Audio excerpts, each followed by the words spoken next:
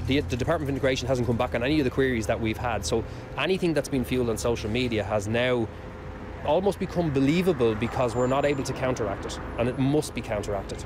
So we have to make sure that local people living in their own area, that their lived experience is part of this process of developing a sustainable solution, because otherwise it's not going to work for anybody.